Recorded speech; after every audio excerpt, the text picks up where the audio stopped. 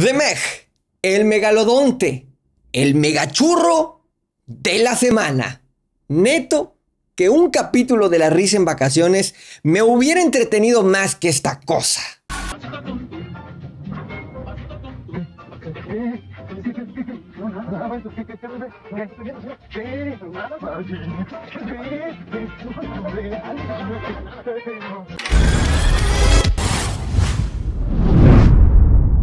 Basada en una novela de 1997 llamada The Meg, a Novel of Deep Terror, comienza esta aventura donde un submarino se sumerge a la última capa del mar y es atacado por un tiburón gigante de 22 o más metros llamado megalodonte, el cual se creía que estaba extinto desde la prehistoria.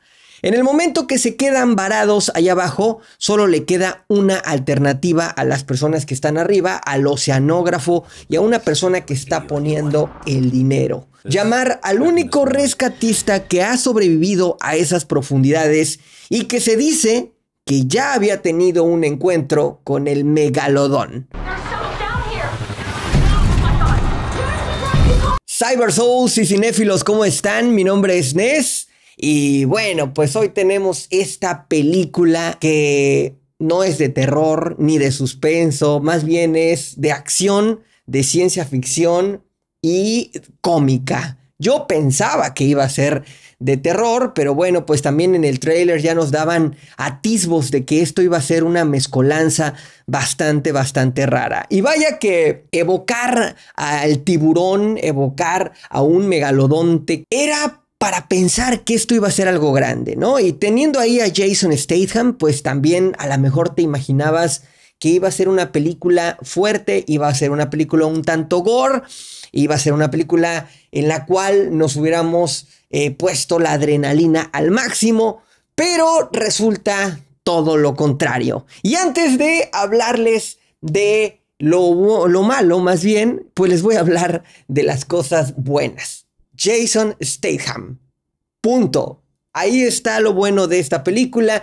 El señor hace su trabajo como normalmente lo conocemos, con su voz aguardientosa, su mirada, sus, eh, ya saben cómo es él con toda su forma de, de actuar, etc. Siempre es el héroe y le crees cualquier cosa que haga, incluso que se lance al agua contra un megalodón gigante con nada de protección más que un arponcito. Más o menos pasa con lo con la roca, ¿no? Este tipo de cosas. Nosotros ya nos creemos todo lo que haga la roca. Creo que eh, Jason Statham, pues también es uno de esos personajes muy carismáticos, a un nivel diferente, digamos, los dos, eh, la roca y él, pero pues cada que los vemos en una película, sabemos que van a hacer cosas impresionantes. Ay, ay, ay, ay. Por otro lado, las sobreactuaciones. No son actuaciones, son sobreactuaciones. Esta película, recordemos que es eh, mitad china, mitad estadounidense y todo este rollo. Entonces, bueno, pues contrataron a algunos actores también chinos que, francamente, en fin, no, no me latió nada el rollo. Y vaya que las, la, empatía entre ellos no se da como equipo, nunca la vi. Luego hay unas muertes, eh, como siempre ustedes saben, en películas de este tipo hay muertes, no te las crees. Definitivamente no hay nada en la trama que te haga sentir que realmente merecían morir o que se iban a sacrificar por alguna causa ni nada por el estilo, porque nunca hicieron eh, una real conexión entre todos estos personajes. Y los que quieren ir como héroes y todo esto, pues nada más la riegan, hacen más difícil el rescate que iban a hacer de este submarino. Y pues obviamente van complicando nada más las cosas. Otro de los graves problemas son los efectos especiales que a pesar de que son buenos, tienen demasiada agua, mucho shaky cam. Nunca logras ver al megalodón en su máximo esplendor, que yo dijera, ay mamá, me da medio esto, ¿no? A lo mejor, a lo mejor esta película funciona muy bien en 4DX, definitivamente creo yo que es una película que la tienes que ver en este formato, porque si no, no va a valer la pena verla en una sala normal. Los sonidos, la verdad es que no dan miedo o será que la verdad es que la sala que fui no se oía absolutamente nada bien. Y los efectos quedan mucho a desear en, que, en querer ver e identificar a el megalodonte como villano. Realmente no es una amenaza en ningún momento de la película. Yo nunca lo sentí así, por lo menos nunca sentí una tensión y esto es porque la película tampoco define el tamaño de este ser, de este megalodonte. Nos dicen que mide más de 22 metros, de repente aparece como que muy chiquito, luego muerde algo enorme, luego no puede con unas capsulitas tan pequeñas que dices tú, pues esto se los hubiera tragado en un instante. No sabes realmente por qué la dimensión del megalodonte cambia tanto y eso, eso hace que no sientas esa tensión realmente importante dentro de la sala, ¿no? Porque a veces se ve chiquito, a veces se ve grandote, es como el chorrito. Recordemos la de 1975 de Steven Spielberg. Era una película que te mantenía en tensión, era una trama seria. Aquí el mismo Jason Statham dice, ¿dónde fregados está la sangre? Yo pensé, a mí me invitaron a hacer algo más sangriento, más gore, eh, con muertes mucho más elaboradas, con efectos especiales. El mismo director dice lo mismo, que él quería hacer algo así, pero de repente dijo, le voy a quitar algo de gore para que los niños puedan entrar mayores de 13 años y no tengan ningún problema. Definitivamente le quitó todo. No hay sangre dentro de la película. Nunca ves sangrando a Jason ni a ninguno de los personajes ahí. Y si el megalodonte se los logra tragar, ni te das cuenta. Ni te das cuenta. Hay una escena, spoiler pequeño, en donde están un montón de bañistas y un montón de gente y todo. Y dices, uh, aquí va a haber algo con el megalodonte, o sea, se los va a echar a todos.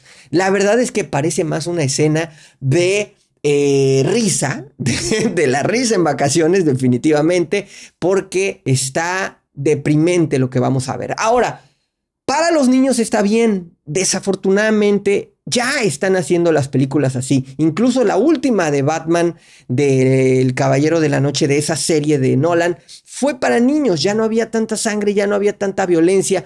Y, y eso pues hace que baje mucho la calidad de la película en cuestión de trama y en cuestión de credibilidad. La edición de la película también es un churro. Todos los momentos de tensión donde tú sientes que la vibra ya va a llegar y que viene este megalodonte y que se va a tragar a todos y que va a destruir absolutamente todo, los cortan. Cortan esos momentos. Llega un momento en el que avientan un submarino y otro lo destruye. Dices tú, ¿cómo es posible que a uno solo los aviente y de repente a otros que ya están listos para sacrificarse, pues ahí sí exploten y los destruya completamente. Es algo inverosímil que definitivamente dices no puede ser, ¿no? No esperes un buen guion, no esperes terror. Yo te recomendaría que mejor le echaras un ojo a la última película de Tom Cruise, que es pues Misión Imposible Repercusión. Esa película sientes cuando llegas al cine, cuando te sientas ahí, que de repente no se va a lograr la misión o que algo está pasando y te lo está transmitiendo a ti. Eso es la emoción del cine, eso es la magia del cine, cuando tú te sientes es parte de la película y aquí no se siente absolutamente nada de eso. Estamos tan acostumbrados a ver bestias gigantes que se necesita algo mucho más grande como para poder superar a Jurassic Park, por ejemplo, ¿no? Y esto, que es un solo megalodón, de alguna manera no hace pues nada, es como una gotita en el océano. A esta película le vamos a poner nada más y nada menos por la actuación de Jason Statham un 3. Así es, un 3 es de las películas que definitivamente no volvería a ver ni en Netflix, no la rentaría, no la vería ni con amigos. Yo si te recomendara una de tiburones, pues tal vez sería Terror en lo profundo y obvio, obvio, la mejor de todas, Tiburón de 1975 de Steven Spielberg. Esa película no te la puedes perder, es un clásico total y tiene bien definido su género. Aquí no se sabe si es comedia, aquí ni siquiera es una película de serie B en donde tú digas los efectos especiales son grotescos y está muy raro ahí el rollo con la comedia y el gore. No, ni siquiera es eso. Trata de ser seria, trata de ser cómica y no abarca absolutamente nada. Recuerda que si te gustó este review, lo ideal sería que te suscribas al canal. Ahí abajo hay un botoncito rojo que dice suscribirse. También puedes darle like si tú crees que esta crítica es buena o que le puede gustar a alguien más. Se la puedes compartir, por supuesto. Únete a mis redes sociales porque ahí hago Facebook Live normalmente y explico justamente saliéndome de la sala qué me pareció la película, mis primeras impresiones. ¿Cuál es tu película favorita de tiburones? Su comentario es súper importante. Yo soy Nes y nos vemos en el próximo review.